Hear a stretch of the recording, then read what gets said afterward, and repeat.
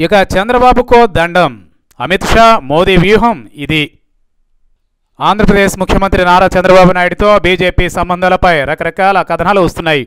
చంద్రబాబుతో తెగదెంపులు చేసుకోవడానికి బీజేపీ సిద్ధంగా లేదనే వార్తలకు మధ్య మధ్యలో బలం చేకూరుతూ వస్తోంది. ఈ నెల ఐదవ తేదీన చర్చలకు రావాల్సిందిగా బీజేపీ అధ్యక్షుడు నారా చంద్రబాబు నాయుడిని పిలిచినట్లు వార్తలు వస్తున్నాయి. అయితే బీజేపీ వ్యూహం ఇప్పటికే ఖరారైనట్లు తెలుస్తోంది.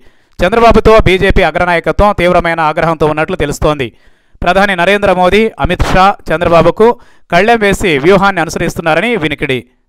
చంద్రబాబు వ్యవహార శైలి పట్ల మోదీ అమిత్ షా తీవ్రమైన అసంతృప్తితో ఉన్నట్లు తెలుస్తోంది. రాష్ట్రానికి ఇవ్వాల్సిన వాటి విషయంలో చంద్రబాబు వ్యూహాత్మకంగా కేంద్రాన్ని టార్గెట్ చేసే వ్యూహాన్ని అనుసరించి తాను గట్టెక్కే విధంగా చూసుకున్నారనేది వారి ఆగ్రహానికి మొదటి కారణంగా చెబుతున్నారు.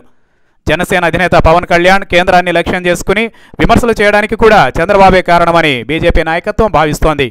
పవన్ కళ్యాణ్ జేఎఫ్సీ తీరుపై బీజేపీ అసంతృప్తితో ఉంది. చంద్రబాబు వెనక ఉండి పవన్ కళ్యాణ్ను నడిపిస్తున్నారనే అనుమానాలు ఉన్నాయి. చంద్రబాబు మాటల తీరు వల్ల కేంద్ర ప్రభుత్వం పలుచనయ్యే పరిస్థితి ఏర్పడిందని అంటున్నారు. కేంద్ర ప్రభుత్వంపైకి గురిపెట్టే విధంగా ఆయన మాట్లాడుతున్నారని అంటున్నారు. రాష్ట్రం విషయంలో జరిగే అభివృద్ధికి తాను కారణమైనట్లుగా వైఫల్యాలకు కేంద్ర ప్రభుత్వం కారణమైనట్లుగా చూపించడంలో చంద్రబాబు వ్యవహరిస్తున్నారని బీజేపీ భావిస్తోంది. పొత్తు విషయంలో చంద్రబాబు కన్నా తామే ముందు నిర్ణయం తీసుకుంటే ఎలా ఉంటుందనే ఆలోచనలో అమిత్ షా ఉన్నట్లు చెబుతున్నారు. రాష్ట్ర ప్రభుత్వం నుంచి తమ ఇద్దరు మంత్రులను బయటకు రావాలని చెప్పి తెగదెంపులు చేసుకునేందుకు సిద్ధపడినట్లు తెలుస్తోంది. ఆ బాధ్యతను మంత్రి కామినేని శ్రీనివాసరావుకు అప్పగించినట్లు చెబుతున్నారు.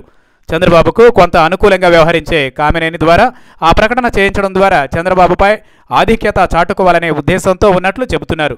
చంద్రబాబుకు అనుకూలంగా ఉండే ఆంధ్రప్రదేశ్ బీజేపీ నాయకుల ద్వారానే అమిత్ షా ఆపరేషన్ ప్రారంభించారని అంటున్నారు. చంద్రబాబుకు అనుకూలంగా వ్యవహరిస్తూ వస్తున్న హరిబాబుకు తెలుగుదేశం పార్టీ చేస్తున్న వాదనలను తిప్పుకొట్టే బాధ్యతను అప్పగించడం మొదటి దశగా మంత్రివర్గం నుంచి తప్పుకునే బాధ్యతను కామినేని శ్రీనివాసరావుకు అప్పగించడం రెండవ దశగా చెబుతున్నారు. బీజేపీలో ఒక సామాజిక వర్గం చంద్రబాబుకు వ్యతిరేకంగా వ్యవహరిస్తోందనే అభిప్రాయాన్ని దెబ్బకొట్టడం బీజేపీ వ్యూహంలో భాగమని అంటున్నారు.